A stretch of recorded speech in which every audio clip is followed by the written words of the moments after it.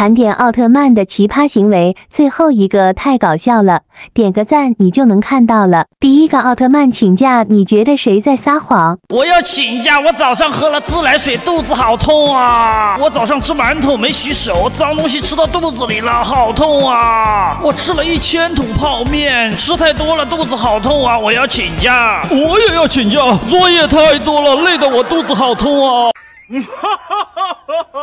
第二个想让贝利亚搓澡的扣一，不想的扣二。我宣布，谁脱完衣服最先到我的澡盆里，我就给谁搓澡。啊，我们来了！哈哈，肯定是我。啊，什么声音？对不起了，哥哥们，我先去了。老爸，我可是比你先到。嘿嘿，还是我先到。老爸，快给我搓。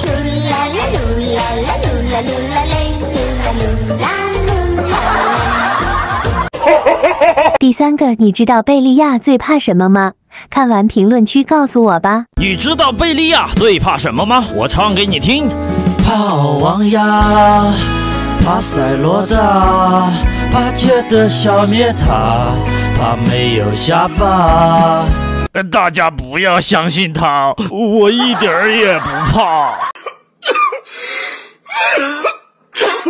第四个，你觉得谁的躲雨方式最好？扣出他的号数。我躲在怪兽下面，我躲在石头下面。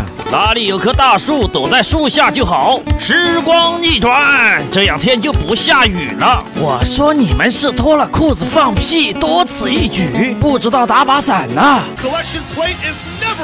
第五个杰德被偷袭了，快帮他找出凶手吧！有人偷袭杰德，把他打进臭水沟，并且偷走了他藏在床下面的方便面和奶茶。不是我，我偷袭我儿子干什么？也不是我，我可不喜欢吃方便面。也不是我。我昨天在看电影，小朋友们，你们知道是谁吗？第六个，你认为谁的回答是正确的？打游戏对手太菜怎么办？用屁股鄙视他。老爸平时不听话怎么办？大宝剑揍死他。上厕所摸到大便怎么办？当然是用尿尿洗干净啦。有些人太嚣张了怎么办？大耳巴子刮刮乐。